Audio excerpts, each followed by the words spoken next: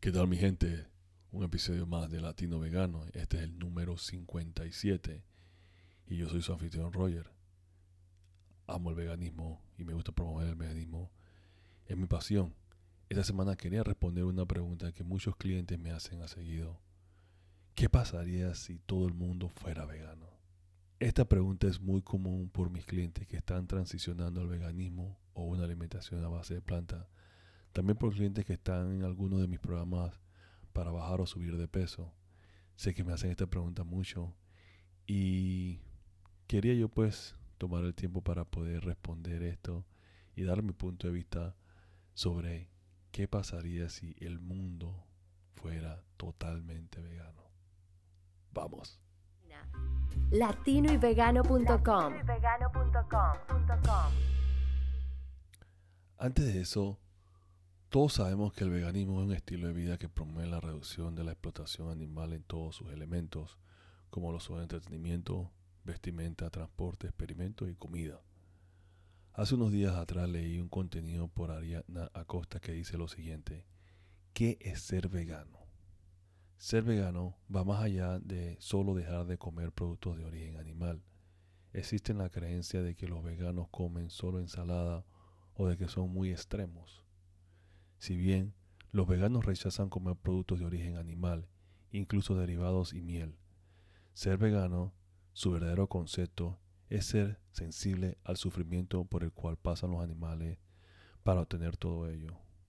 Siendo vegano, se rechaza todo tipo de producto animal, porque para que el hombre pueda hacer estos productos, explotan indiscriminadamente, encierran, violan, torturan, castran y asesinan a millones de animales cada día alrededor del mundo.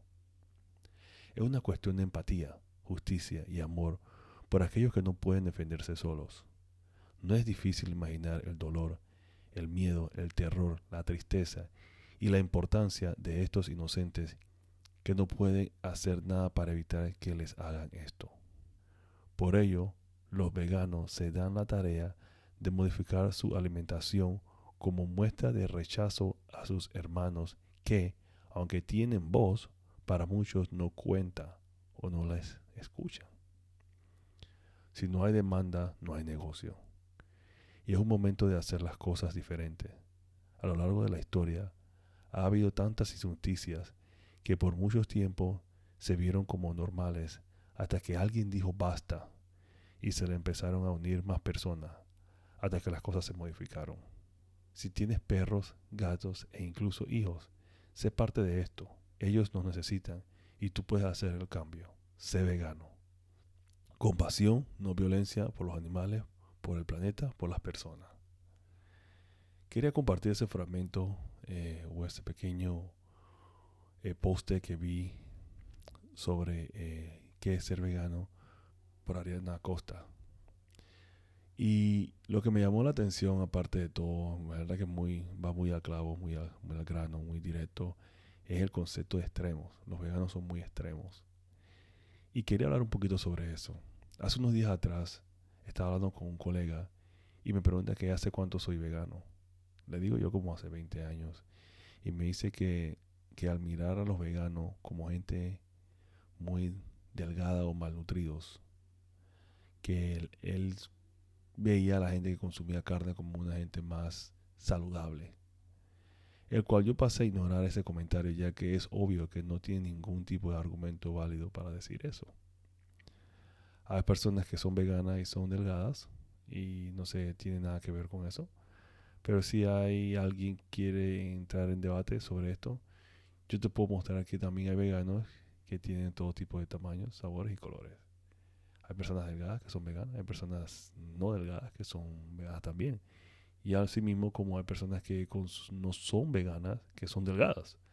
Así que la estructura física de una persona no necesariamente tiene que ver con el veganismo o no, o tiene que ver con su alimentación.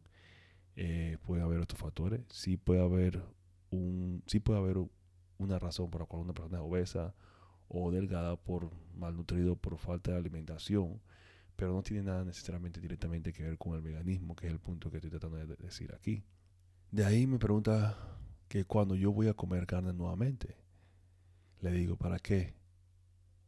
Jamás es mi respuesta. Es más, no solo, no solo si como carne ahora mismo, le digo yo, me enfermaría. Prefiero morirme de hambre que comer carne nuevamente o comer animal. De ahí entonces donde dicen que los veganos somos extremos, pongo comentarios como el que yo acabo de, como el que yo utilicé para responderle al colega este. Pero esta misma persona me pregunta lo siguiente, ¿qué pasa si estás en una isla y no hay más nada que comer que animales? Ese es el típico, la típica pregunta cuando ya no tienen algún otro argumento, van al típico pregunta que te estás en una isla. Pero esta persona en sí, este colega, lo llevó un poquito más allá y me dice, ¿qué pasa si estás en un día en un bosque y un oso está atacando a tu mamá y la única forma de poder defenderte es mordiéndote y comiéndote un pedazo de su carne. Esa fue su pregunta. Y después me dice, es más, yo le digo, igual no, no comería la carne. Y después me dice, ¿y qué pasa si algún día alguien te rata a tu hijo, asumiendo que tiene su hijo? Y que la única forma de poder salvar la vida de tu hijo es si comes carne. Hasta este nivel llega esta persona. ¿Qué harías? Ahora, ustedes van a decirme a mí que los veganos somos extremistas. Y aquí está esta persona creando unos escenarios totalmente radicales para que poder sacar una respuesta de mí de que yo aceptaría comer carne después que yo le dije que no importa qué escenario me pondría, no comería carne. O sea, esta persona le llena de satisfacción poder sacar una respuesta de que yo comería carne nuevamente. No sé por qué. Que estas son las situaciones en que muchos veganos vemos a diario. ¿Y por qué? No sé. Porque prácticamente compartimos o tenemos empatía por eh, los animales es una sociedad tanto egocéntrica eh, en cierto sentido a veces siento que la que vivimos nosotros. Lo que quiero decir con eso es que los veganos no somos extremos, simplemente somos personas que compartimos una, una ideología o una forma de pensar, o vemos el mundo, o tenemos un estilo de vida total un poquito diferente al convencional. Generalmente las personas cuando no están acostumbradas a caminar por los mismos pasos que todo el mundo lo que consideran normal automáticamente lo catalogan o lo caracterizan como una persona radical. Y generalmente las personas que, si damos cuentas, que han hecho impactos en la vida siempre caminan por el lado contrario donde caminan todo el mundo. Y eso es lo que el veganismo a veces nos, nos enseña. Eh, pero al final de todo, la empatía que un vegano lleva es todo. O sea, no, no sé porque son tan criticados por alimentación cuando lo que estamos haciendo es compartiendo empatía para no eh, comer eh, seres vivientes. al final de todo es eso. Pero esto es lo que yo pienso acerca de eso. Si todos fuéramos veganos, ¿qué pasaría? Bueno, yo pienso que muchos de los problemas que tenemos en la actualidad, como el racismo, discriminación, el egocentrismo, la empatía, se minimizarían grandemente. Hasta en algunos países sería totalmente erradicado pienso yo. Porque el tema de lo que es la compasión eh, automáticamente se liga a cualquiera de estos temas. Si tú no tienes racismo por seres humanos, no tienes racismo por animales. Si no tienes racismo por animales, no tienes racismo por seres humanos. Y por ahí va la cosa, porque practicarías esa empatía en todos los ángulos, ¿no? Eh, si lo practicas desde, de esa perspectiva, igual que la discriminación, y no sería solamente acerca de tú, tú, tú, tú, tú, o yo, yo, yo, yo, yo, vos, vos, vos, vos, sino que sería más nosotros todos. Algunos problemas del medio ambiente eh, con el tiempo se mejorarían. Le hemos hecho tanto daño al planeta que lo hemos afectado grandemente. Pero si volviéramos veganos todos el día de mañana, tendremos todavía tiempo para poder salvar eh, grandemente este planeta. Sé que hemos hecho tantos daños al medio ambiente en nuestro planeta y en nuestras aguas que tomaría tiempo para sanar. Pero sé que la reducción de la contaminación y la huella de carbono tendría una mejoría drástica en nuestro sistema o en nuestro medio ambiente, específicamente en nuestro ecosistema. Muchos animales en extinción se salvarían y los animales tendrían sí, cierta libertad en la tierra o estarían libres básicamente en la tierra, no cierta, tendrían total libertad en la tierra. Y sé que mucha gente por ahí eh, dicen que hay que matar animales eh, para ayudar a la sobrepoblación del planeta. Pero yo pienso que la sobrepoblación es un concepto eh, de humanos más que todo de animales. Y lo digo porque yo siento que la naturaleza tomaría su, su propio rumbo, su propio curso sabemos pues que el ciclo, animales nacen, se reproducen y mueren, eh, sería el ciclo normal de cualquier ser, humano, igual incluyendo un animal. Y al mismo tiempo eh, hay animales todavía que son carnívoros, que comerían otros animales, igual que en lo que son las, las aguas, los mares. Hay ciertos peces que comen otros peces, ¿verdad? Y, y hay diferentes niveles. Y así mismo hay animales que comen otros animales. Y entonces mantiene, se mantendría pues un balance, por decirlo así. Pero la razón por la cual tenemos una abundancia en ciertos casos animales es porque, es porque violamos a ciertos animales, si no todos, para poder crear de ellos una comodidad. O sea que tenemos una abundancia de vacas porque la estamos utilizando para su leche y la estamos utilizando para su carne. Entonces, las vacas son violadas para poder crear más vacas porque si no están embarazadas no producen leche. Y entonces el ciclo es lo que, es lo que está sucediendo. Y si no tuviéramos que pasar por ese periodo, no tenemos que pasar por esa etapa, sería un nivel normal, sería lo que la naturaleza nos está prohibiendo. Por eso yo digo que tomaría su curso normal. Como seres humanos tendríamos una mejor salud. Y más si prácticamente eh, optamos por una alimentación a base de plantas, específicamente integral, ya que sería una forma más sana de consumir alimentos el caso de enfermedades crónicas se reduciría grandemente y la medicina sería más preventiva y holística que a la que tenemos actualmente, que solamente está parchando a la gente con drogas cada vez que alguien tiene algo. No habría un mundo donde los animales fueran explotados para diversión. En caso de que la creatividad y la tecnología estaría a la vanguardia en todos los aspectos. Que si hablamos de que si es algo ético o si es algo eh, bien que afecta a nuestro medio ambiente sería para otra conversación. Pero lo que me refiero es que la creatividad del ser humano saldría a lucir para crear medios de diversión que no serían explotando animales. O sea que, eh, por decirlo así, SeaWorld ya no tendría orcas o delfines haciendo espectáculos. Ya serían otro tipo de creatividad. De repente serían robots, serían droids, serían, serían qué sé yo, eh, ya serían otro tipo de... Eh, sería virtual en donde estaríamos, en donde los serían actividades en donde, en donde de repente llevarían a la gente a, a una, a unas tomas del agua, eh, cómo viven los animales en el agua, más que todo en su hábitat natural, y no sería algo planificado o manifestado.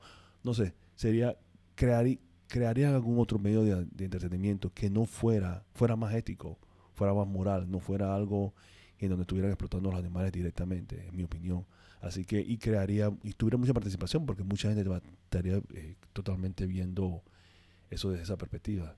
Yo debería de crear una caricatura sobre esto, cómo sería un mundo si fuera totalmente vegano. Mira, tengo una idea y que de repente alguien que escucha esto eh, puede tomarla y nos podemos, nos podemos contactar para ver si, si, si tienes ese, ese talento con la caricatura y podemos hacer algo acerca de eso. Sería una buena, una buena iniciativa. Así como un programa que había en televisión que se llama Futurama podemos crear Vegarama, algo de eh, futuro, el futuro vegano, no sé, algo por esa línea. Pero bueno, eso es para otra, para otro, otro episodio, sería una buena idea.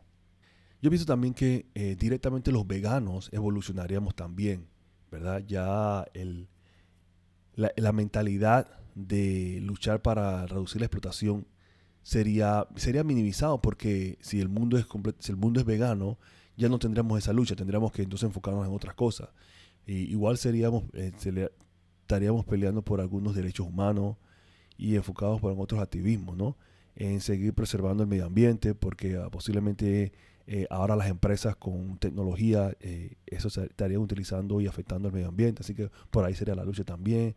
Crear leyes que igualen a todos los animales sería también alguna, alguna, alguna de las tipos de luchas que los veganos ya estaríamos enfocados eh, cultivar más nuestros propios alimentos, creo que sería algo muy, muy, muy grande, reducir lo que es el consumo de productos procesados como desde el punto de vista de la salud, porque a lo mejor ya los productos veganos estarían altamente procesados y entonces están creando todo este tipo de manipulación con, con carnes hechas de células y cosas así, así que eh, eh, estaría como la lucha por esa área y entre otras cosas, solamente estoy tirando ideas de que, cómo yo visualizo que serían las luchas que serían si si todos fuéramos veganos y tuviéramos que enfocarnos entonces en otro tipo de activismo, pero no, no dejaríamos la, lucha, por lo menos no, no serían cosas de que estamos peleando para que la gente no use más abrigos de mink o no estaremos luchando para que la gente deje de ir a los, a, los parques acuáticos, eh, específicamente donde son parques donde hay animales que son explotados. O sea, la lucha no sería de esa área, sería, serían por otra, otros ángulos. Pienso que el ser humano sería mucho más creativo y su facultad de la imaginación pondría, se pondría a relucir, crear múltiples oportunidades que sean libres de crueldad que mantenga nuestro planeta lo más saludable posible y evitar que la salud se deteriore con productos no orgánicos y extremadamente procesados, es como estaba mencionando. También pienso que en, el aspecto de lo que es el negocio, eh, sería mucho más enfocado a, esa área, específicamente como la ganadería, ya no existiría ese concepto, ya ahora todos estos lugares donde eh, antes mataban animales, ahora se producen eh, productos extremadamente eh, para veganos y para la alimentación a base de planta. Así que mantendrían esa economía todavía corriendo y sería más ético todavía.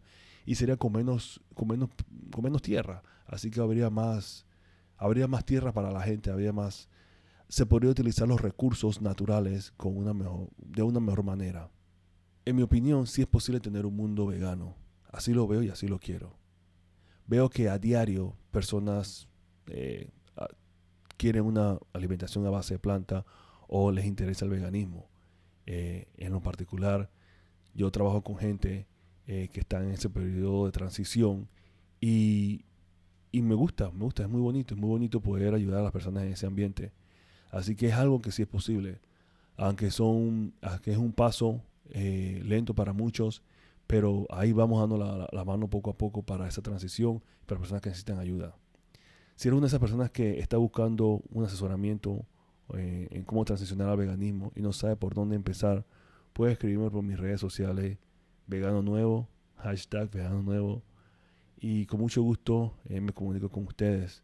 Por otra parte, si necesitas ayuda en lo que es bajar de peso o ganar masa muscular, todo con una alimentación a base de planta, eh, me dedico a ayudar a las personas en este ambiente. soy entrenador personal, tengo experiencia en esa área y es mi pasión poder ayudar a las personas, específicamente veganos nuevos, que están interesados en, ya sea transicionar o ya sean eh, ir a lo que es el área fitness. Estoy a la orden eh, para alguien que pues que esté interesado en esta en esto. Yo supongo soy su mentor, su coach. Eh, tengo varios programas que lo puedo ayudar en esta área y yo personalmente directamente también estoy ofreciendo asesorías y consultorías en ese aspecto. Dígame qué piensan ustedes. Me gustaría escuchar su opinión. ¿Qué ustedes piensan sobre eh, ¿Qué pasa sería si este mundo fuera vegano? ¿Cómo lo visualizan ustedes? ¿Cuál es la imagen que tienen ustedes de un mundo totalmente vegano? ¿Ah? ¿Qué sería, qué serían algunos de los, de los, de los retos y algunas de las victorias que encontraríamos en un mundo totalmente vegano? Me gustaría escuchar sus opiniones. Sería bueno pues que tuviéramos una conversación directamente de esto. Y quién, son, quién sé yo, a lo mejor hagamos una serie en donde hagamos varios episodios sobre este tema. Con esto pues me quiero despedir de ustedes hasta el próximo episodio, el episodio número 58, vendré punto en donde estaré hablando un poco sobre unas experiencias vividas, algunos de mis, viajes eh, recientes, algunas de mis experiencias personales. También les quiero contar pues una, una experiencia sobre, sobre algo que he estado estudiando últimamente. Eh, muchos tienen que ver con la ley de la atracción y lo que es la ley de la vibración. La ley de la vibración es la ley principal, la ley de la atracción es la ley secundaria y me preguntarán qué tiene que ver eso directamente con el veganismo. Tiene que ver un poco con el veganismo y les explicaré cómo eh, uno a las dos cosas y específicamente porque tiene que mucho con lo que es la superación personal y con el apoyo personal. Así que estaré hablando sobre un poco sobre eso en la próxima semana. Eh, posiblemente lo hablen en, un episodio en inglés y también lo hagan en un episodio en español también. Gracias por siempre estar apoyando lo que es este proyecto, por lo que es apoyar el Latino Vegano, lo que son nuestro canal de YouTube, y por lo que nuestro podcast también, que, eh, a diario estamos recibiendo buenos comentarios y mucha gente le, realmente le gusta la iniciativa. Y son lo que me motiva pues, a seguir adelante y poniendo episodios e información valiosa para todos ustedes. Ya saben, las personas, si no vieron mi episodio pasado, estuve hablando sobre los cualquier persona que tiene un negocio eh, vegano o un negocio eh, plant-based, si están interesados en saber cómo pueden adquirir nuevos clientes, cómo pueden generar más ingresos, cómo pueden tener tráfico a su tienda local, a lo que sea que sea su establecimiento, su negocio. Si eres coach, cómo puedes generar mayor ingreso, cómo puedes generar mayores clientes.